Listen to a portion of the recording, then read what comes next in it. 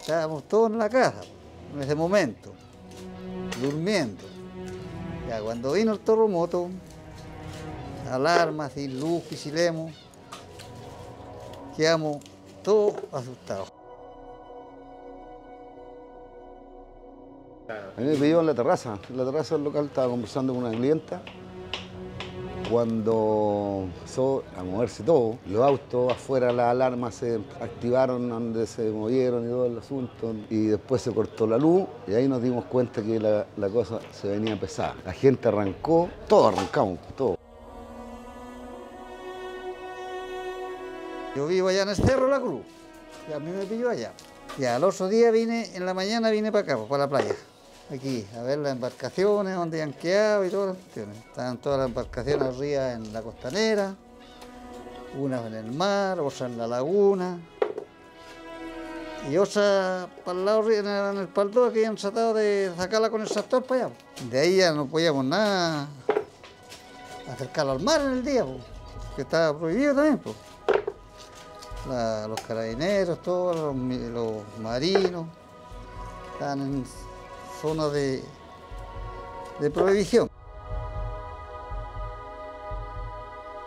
Y mm, yo me subí, cuando estábamos abajo, estaba con mi hija y mm, mi hijo había de buscar a mi señora que estaba en la casa. Y nos juntamos todos abajo con el personal. Y yo subí al inicio de la terraza y me di cuenta que no estaba el mar, que el mar se había ido para adentro.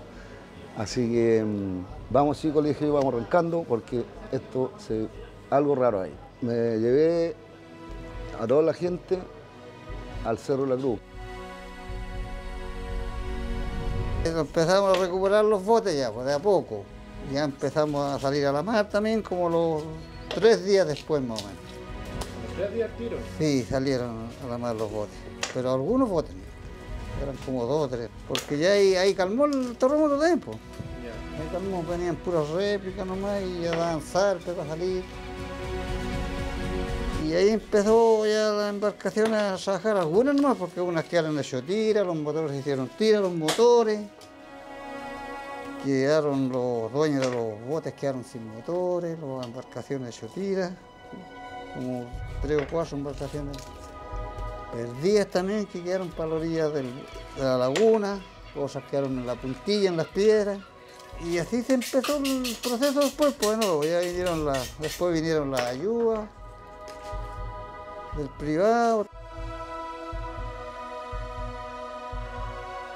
Habían 19 pilares quebrados a ese lado y 8 al otro lado. El local estaba de lado, pero no se cayó porque como recibió toda la madera de los kioscos que estaban al frente y eso lo mantuvo en pie. Ahora, si no hubiera sido por, eso, por esos kioscos, no habría pasado nada tampoco, porque el agua habría pasado por abajo nomás.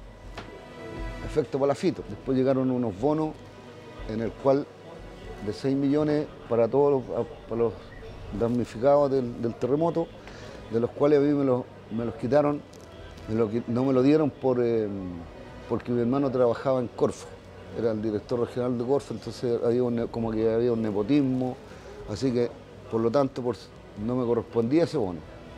Y el Pepe Cuervo lo paré, gracias a Dios, con lo mío, sin ayuda de nadie.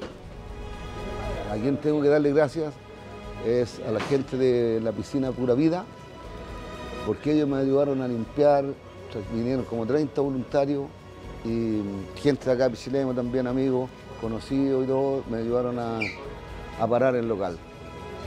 Los maestros que iniciaron el local, los, los iniciadores de- del Pepe Cuervo en su inicio, que son los, los Lulo Carreño con sus hijos, eh, vinieron después también a hacer la, la reconstrucción, a tratar de dejar todo lo más derecho posible para que, la- para que cerraran las puertas bien, como yo, no es llegar y poner palos nomás para dejarlo a nivel, pero ellos lo lograron.